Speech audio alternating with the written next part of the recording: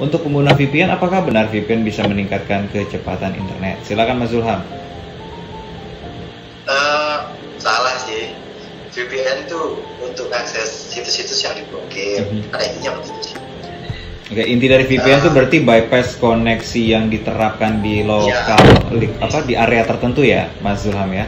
Ya, Ya mas. Nah kalau gitu perihal tentang keamanan di internet mas, karena mas mungkin tahu dari karakter saya juga bahwa saya sudah menjaga betul nih password, aktivitas, akses, saya benar-benar keras soal itu. Tapi pada kenyataannya, tadi bahkan email saya aja yang saya khawatirkan terbobol, ah terbobol juga datanya di sebuah aplikasi yang bahkan saya sudah tidak pernah gunakan lagi sekarang-sekarang ini. Sarannya mas untuk internet yang aman secara teknis? Ya, uh, mas sekarang mungkin tadi sudah terjawab ya mas tinggal jawab apakah benar jawabannya salah nah, sekarang kita uh, saya minta waktu dua menit aja mas.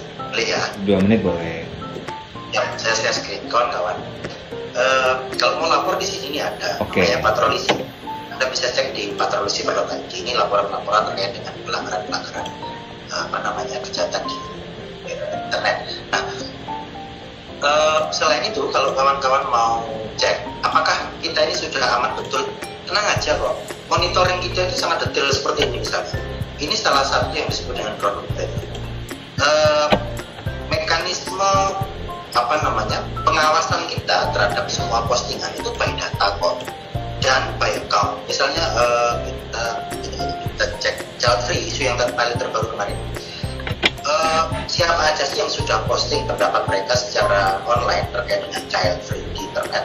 Ini bisa kita lihat di dalam peta yang kemudian dianalisa oleh uh, namanya social network analysis kayak gini. Nih. Nah, yang anda lihat ini persepsi. Jadi yang ini ada tiga warna di sini, hijau, merah, sama putih. Yang putih itu netral, yang merah itu yang negatif. Yang hijau itu yang positif. Ini gerak terus nih. Data ini real time. Dan yang anda lihat di layar itu yang kecil-kecil ini akun-akunnya jadi kalau anda kemudian posting lalu berharap anda aman-aman aja ketika posting anda salah besar. Bisa fontnya ini seluruh dunia kita menonton. Ini akun-akun ini kita klik ini keluar dia posting apa terus kemudian tinggal dicek aja akun ini terkoneksi dengan handphone mana. Kemudian setelah handphone itu tercatat di kami kami lacak alamatnya di mana menggunakan metode post checking. Kalau sudah dicek post anda mau lari ke mana pun nggak bisa lah selama di negara kesatuan Kita lihat ini peta media sosial. Persepsi itu ada negatif dan positif yang merah ini positif. Eh negatif yang hijau positif. Ini salah satu contoh mas alatnya dan ini real time gerak terus ya. Nah kemudian berbicara dengan kalau misalnya saya ada nggak sih website di Indonesia yang punya cek ngecek keamanan? Ada.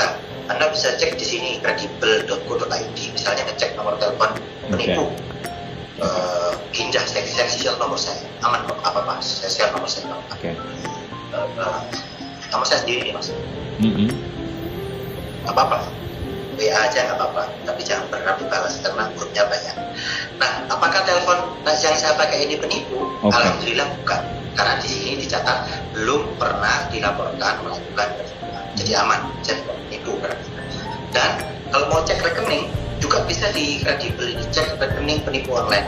Nah kalau di sini saya nggak mau nih masukin nomor rekening. Yeah. Kali bisa cek pakai ini kredibel.co.id. Oke Mas Mas Zola, maaf saya potong karena keterbatasan waktu kita. Jadi saya mau simpulkan tadi website yang bisa digunakan untuk pemeriksaan boleh diulang lagi dari patroli cyber ya. tadi atau apa?